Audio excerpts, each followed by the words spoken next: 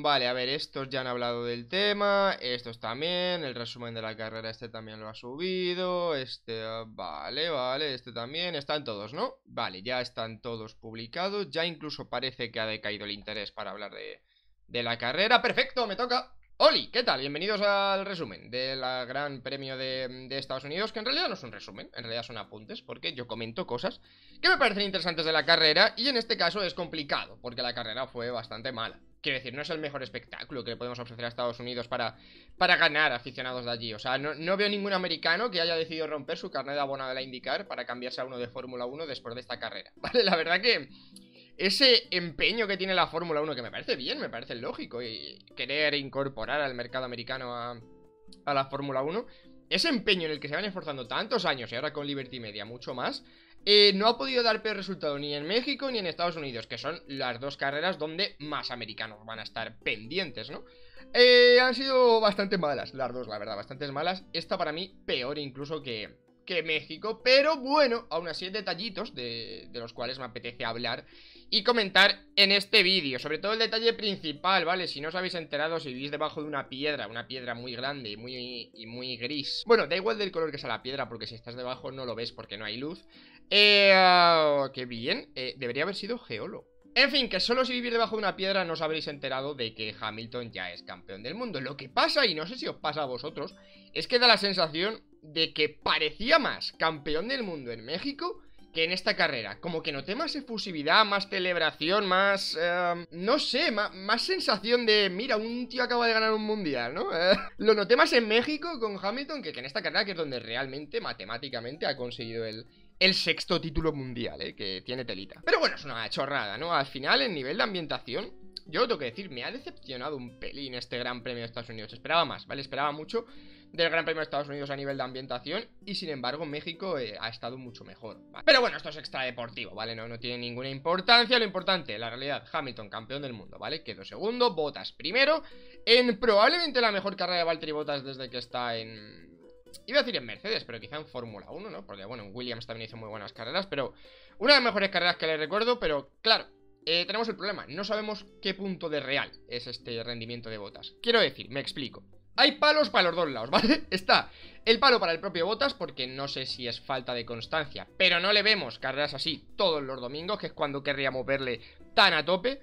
Pero hay dos razones para esto. La primera, Mercedes, sabiendo ya que Hamilton se iba a proclamar campeón del mundo y que él tenía ritmo este fin de semana, no le ha coartado nada su libertad de conducción, quiere decir, le ha dejado que luche por ganar carreras, que hay muchas veces que no le han dejado, recordemos que yo me meto mucho con botas, pero muchas veces es la propia Mercedes la que le ha impedido ganar carreras en favor de su compañero. Esta es una opción, o la segunda opción, que simplemente Hamilton estuviera más relajado, que Hamilton ya sabía que iba a ser campeón del mundo y haya ido con bastante relax, no lo sé, quedaos con la que queráis, ¿vale? Quedaos con la que queráis elegir, ¿vale?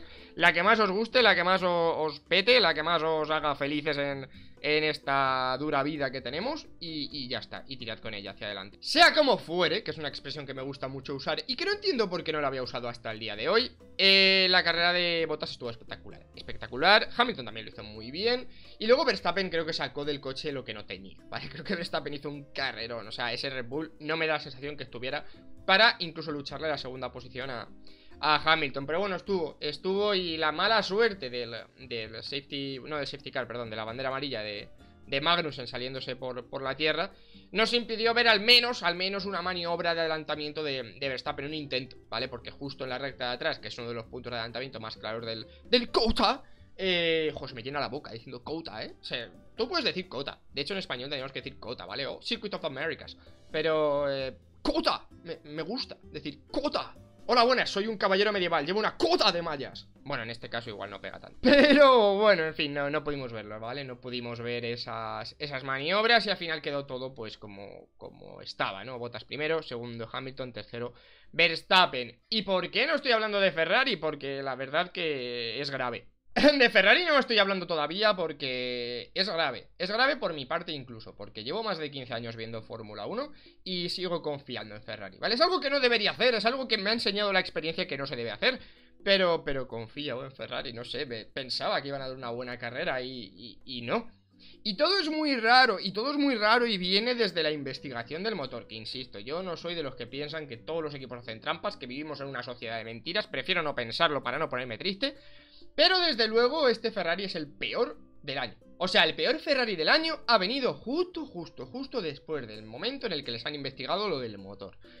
Cada uno que se haga sus teorías conspiranoicas, se saque su libreta y diga, a ver, ¿cómo de conspiranoicos esto? Vamos a ver, dame un boli, dame un boli. ¿Tienes un boli con forma de tu campo? Por supuesto que tengo un boli con forma de tu campo, pásamelo. Vale, entonces dices que te han investigado esta semana. Sí, me, han investigado. Han venido a investigar, no sé, una cosa del motor. Vale, y el rendimiento en carrera, por lo que se ha bajado. Mmm, creo que puedo hacer una conclusión. Insisto, no estoy diciendo nada, no estoy diciendo que el coche fuera ilegal, ni que tuviera algo muy ilegal, lo hayan quitado, tal, porque creo que se hubiera sabido, o sea, se hubiera anunciado que, mira, esta cosa de Ferrari, eh, esta parte del motor no es totalmente legal por lo que sea, lo hemos cambiado, tal, tal, tal. No, no ha pasado, pero es verdad que es el peor Ferrari de este año del aro, ¿vale? El peor Ferrari. Acabó Leclerc a un mundo, a un mundo de Mercedes y de, y de Red Bull. No sé si porque directamente Ferrari vio que no tenía opciones de ganar la carrera ya y decidió ahorrarle el motor a Leclerc y quizá ponerlo en un modo de, de más ahorro para que le dure para otra carrera, no lo sé. O simplemente que es que no tenía ningún tipo de ritmo. Aunque lo de Vettel fue más grave, porque desde la salida eh, no, no, tenía ritmo el coche, no, no corría, o sea, parecía un McLaren. Es decir, había un momento que, Vettel estaba detrás de Lando Norris y, y no parecía que tuviera ritmo como para adelantarlo. O sea, no parecía lo que suele ser el Ferrari, que es una bala. Y de hecho luego se rompió, el coche se rompió a suspensión trasera en una curva en un accidente que podía haber sido mucho más espectacular de lo que fue. Que nos reímos y quedó muy gracioso porque se quedó con una rueda levantada como un personaje de Cars. Pero tal y como se produjo la rotura, podía haber sido contra el muro y haber sido una hostia muy gorda, que por suerte no pasó. Pero muy mal, muy mal Ferrari. No solo en la parte de la fiabilidad, que mira, al final la fiabilidad a todos los equipos les puede pasar, que, que se rompa el coche y ya está pero sobre todo en tema de ritmo de carrera. O sea, muy, muy mal, muy lejos, pero, pero muy lejos, absurdamente lejos de, Mercedes y de, Red Bull, ¿no? O sea, después de que en la pole estuvieran a nada. O sea, recordemos que Vettel se quedó a prácticamente nada del tiempo de botas, pero eh, no, no, sé qué pasa en Ferrari, de verdad no sé qué ha pasado. Insisto, no quiero decir que sea por la, por la investigación del motor, pero es la única diferencia que ha habido entre el Gran Premio de México y este es que les investigaron lo del motor, ¿vale? Ya está. Es la única, que yo sepa. O sea, habrán pasado más cosas, no lo sé. Pero es la única que ha saltado la prensa, por decir de alguna manera.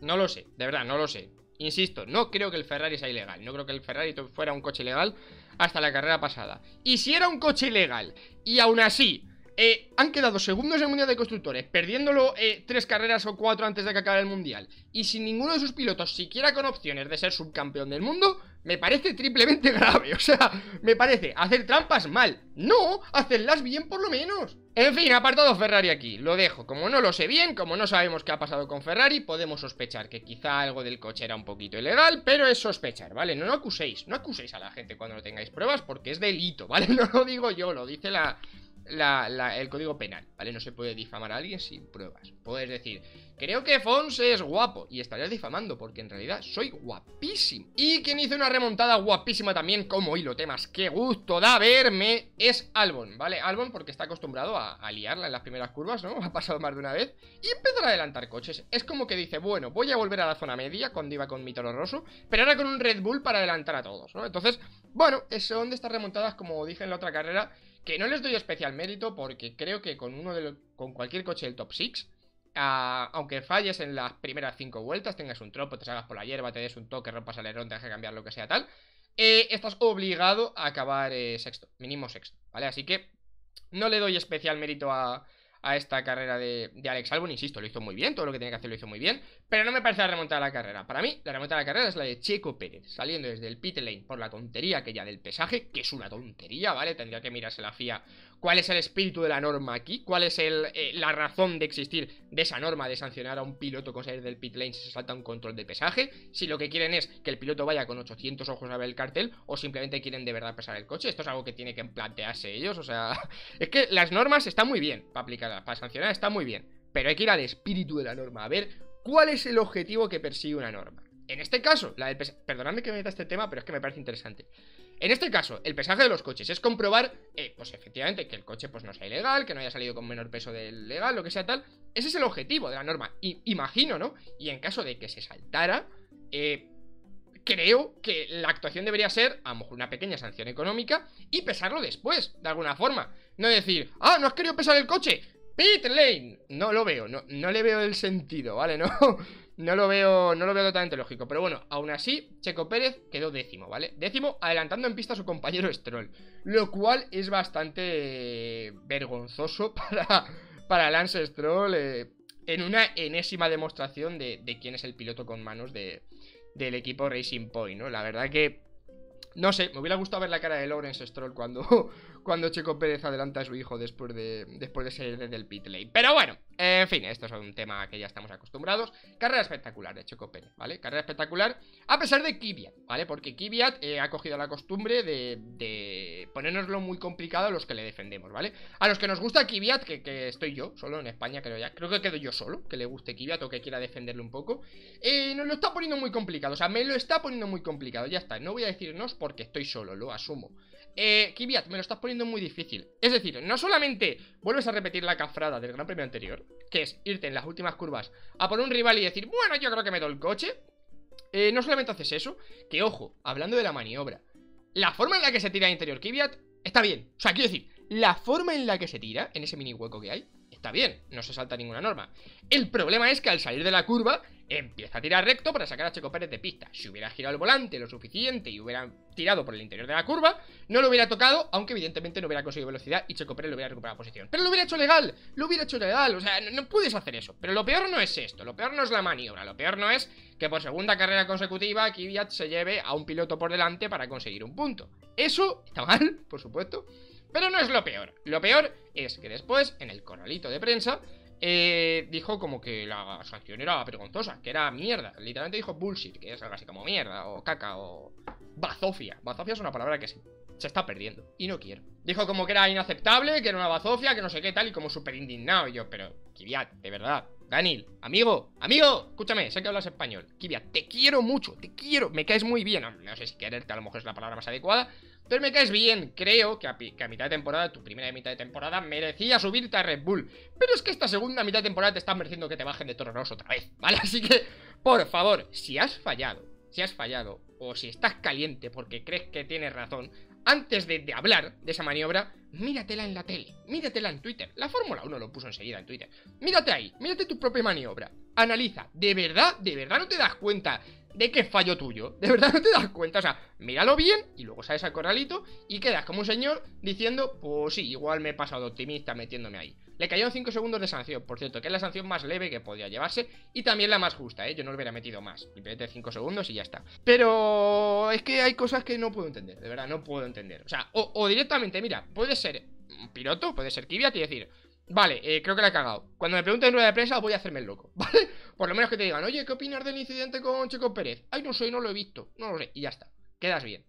No me gustó, no me gustó esta actitud de, Dani Kvyat, no me gustó, no sé, me da rabia porque me cae bien, insisto, pero no me gustó. Y luego quiero acabar también hablando un poquito de Dani Ricciardo y de Renault, porque de Renault va a haber que hablar mucho esta semana, por cierto, porque está como cambiando toda la cúpula, parece que, que van a renovar la dirección deportiva y van a darle un nuevo enfoque al proyecto Renault que creo que falta le hace. Y para mí esta fue la mejor actuación de Ricciardo en, en Renault, ¿vale? Desde que fichó por Renault. Sexto puesto, pero no sexto puesto por casualidad, por fallo de McLaren, sino porque tuvo más ritmo que, que los dos McLaren. Es verdad que Sainz tuvo el problema de la primera de la primera curva del toque con Albon que le fastidió un poco la carrera, pero por ejemplo a Norris le, le batió bien, digamos en ritmo puro de, de, pista y una carrera muy buena de Ricciardo, adelantando bien cuando tenía que adelantar, eh, no sé, sacando todo lo que tenía ese, ese Renault. Hulkenberg también lo hizo muy bien, quedando noveno, por cierto. Pero Ricciardo especialmente bien, ¿no? Demostrando eh, por qué Renault quería un piloto top en su, en su equipo. Eh, creo que justificó, digamos, el fichaje Ricciardo en esta, en esta carrera. Demostrando que a nada que Renault pueda guardar un poco de fiabilidad,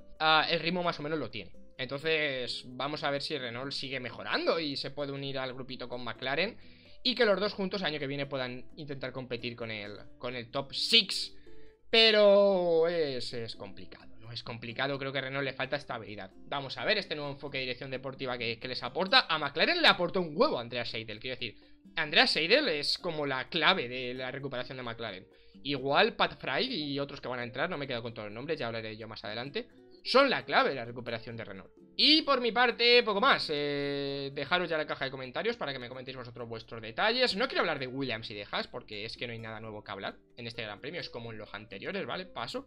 Eh, la, quizá la única variación que esta vez el que se salió de pista en Haas fue Magnussen y Grosjean. Bueno, pues yo que sé, novedad, pero... Pero poco, poco, de verdad, triste, triste situación de estos dos equipos Y Alfa Romeo, que bueno, Kimi lo hizo bastante bien Hizo una salida, Kimi, hizo una salida, Kimi O sea, fue yo decir el sábado que igual estaba tocando su, su declive deportivo y hace una salida espectacular, pero no le valió para, para puntuar. Y Giovinacci bastante regular, pero mira, la han renovado. Así que a lo mejor era lo que quería Alfa Romeo, que hiciera una carrera regular para renovarle. No lo sé, yo cada vez entiendo menos de la Fórmula 1. Es como la iluminación de esta habitación, que va cambiando cada poco. Pues igual, tampoco lo entiendo. Así que ya está, os dejo la caja de comentarios para que me digáis lo que queráis sobre este Gran Premio de Estados Unidos, sobre Hamilton, campeón del mundo, sexto mundial. No me he alargado mucho en este tema porque quiero hacer un vídeo aposta hablando de Hamilton, de estos seis mundiales y de qué lugar debería ocupar en la historia de, la Fórmula 1 su, nombre. Seguramente sea el siguiente vídeo a este.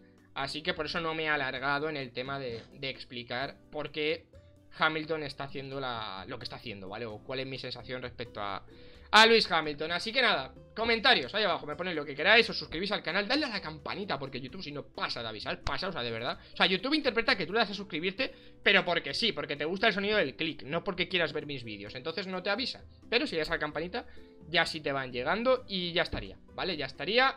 Eh, no sé, tengo un montón de redes sociales para que me sigáis, por cierto, así que están en descripción.